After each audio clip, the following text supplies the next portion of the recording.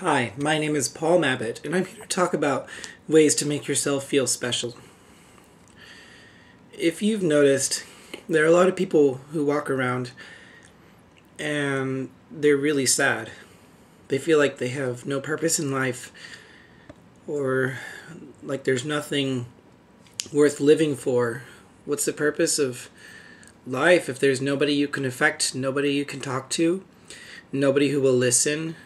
Etc. And in order to make yourself feel like there's something for you, you got to feel special. So I propose that you take a time out of your day to write on your hand something you really like about yourself, or when you look in the mirror, see three things that you like about how you look and take note of them and don't think about the things that you don't like about yourself. Instead, focus on the things you do like about yourself. And then you will begin to start feeling special. One way that I've decided that I'm special is I started looking into things like a new galactic calendar because I'm very interested in horoscopes and those kinds of things. I figured out what day I was born on, and according to the galactic calendar, I was born on the day of the Yellow Electric Warrior. And ever since then, I've been thinking about ways that that makes me special. I used to think that I was a lover, not a fighter. But as a warrior, I decided that I start questioning things.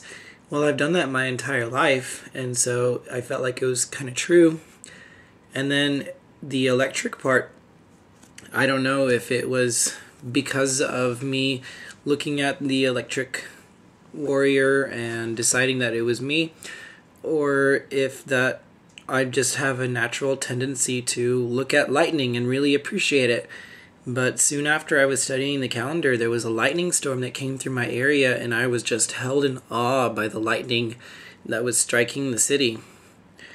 And I felt enraptured by it. I loved watching it, and it made me feel like I was part of nature.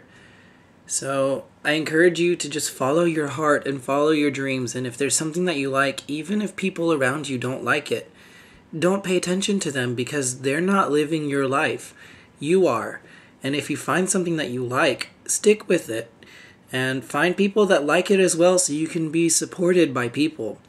If if you're around people that don't like what you do, then you have to adopt an attitude of doing what you have the passion for, even if nobody else around you has the same passion. Because nobody is going to take you through your entire life and lead you by the hand.